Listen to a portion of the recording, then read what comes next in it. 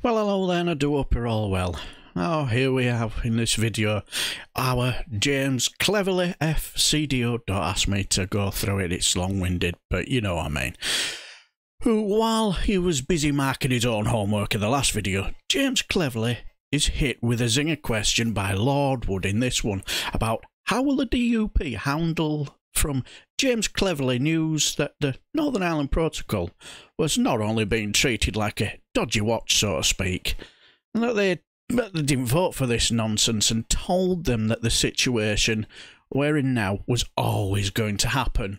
And uh, let's just say James Cleverly again was left flailing in the wind again. And I have to say, watch the guy's face behind him. It's a picture, I have to say. Thank you, Lord Chair, and nice to see you, Minister. Um, can I just pick up on Lord Jay's last question and just clarify something you said? Did you were you saying that you the government decided not to invoke either Article 168 of the withdrawal agreement on arbitration or the Article 16 of the protocol on permissible safeguard measures because the, the problems that you have with the protocol are more fundamental than either of those provisions would allow for? Well, the, the, the, the, challenge we've got is that we've now had a couple of years of the implementation of the protocol, um, and and that is and that is causing problems. And as I say, there's there's pretty much um, widespread agreement that that is causing problems.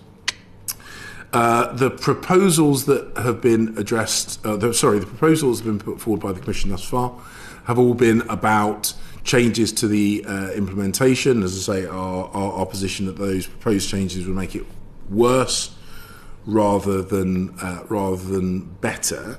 Um, and, uh, and and as I say, the the the uh, the changes that we feel are needed to address this are changes to the protocol itself.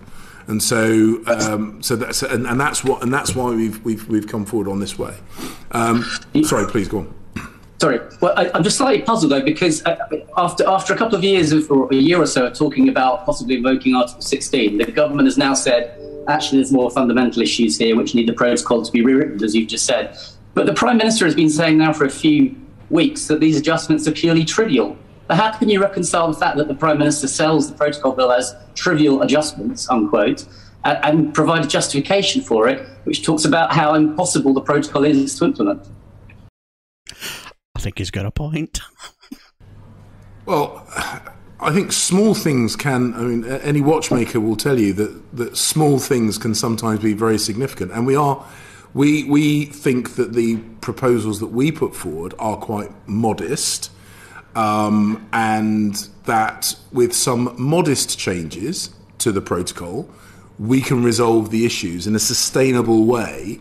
That means the, uh, uh, the Northern Ireland, Ireland, GB, and the EU can all get from this what we need and want, which is seamless trade north south, seamless trade east west, protection of the single market, and also from the UK's point of view to make sure that we protect the hard won gains in the Belfast Good Friday Agreement. Thank you. I, I guess any watchmaker would agree that parts of a watch are small, but that doesn't mean that they're trivial. But that's another question. Can, can I ask you a related issue about about um, the commitment in the withdrawal agreement of Article Five is quote to refrain from measures that could jeopardise the attainment of the of the uh, withdrawal agreement. Is that being fulfilled by this protocol bill? Uh, yes, I've just been reminded that actually one of the one of the explicit goals of the protocol is the protection of east-west trade between GB and Northern Ireland, which is the very issue that we, uh, I think, demonstrably we can see is not working. Thank you. Can, can I just just on the question? What about the phrase refraining from measures that could jeopardise the attainment of the, of the withdrawal agreement? Is, is there not a given the reaction of the European Union, that's prima facie evidence that surely there is some jeopardy being instilled by this protocol bill. Well, I suppose the challenge is that that, that we are we are highlighting a a uh, an explicit uh, objective of the protocol bill, which is not being achieved. Um, and we're looking to get resolution. I completely understand the point that you're making on this. This is why we have said we are very keen to maintain negotiation because ultimately this is about making sure, as with all negotiations, either everyone's winning or nobody's winning. Um, and we are very keen to, to get resolution on this so that the elements of the protocol that the EU value are protected um, and the elements of the protocol that the UK, both GB and Northern Ireland, value, east west trade being the most obvious one, is also protected. And we're going to have to find something that synthesises both those uh, positions.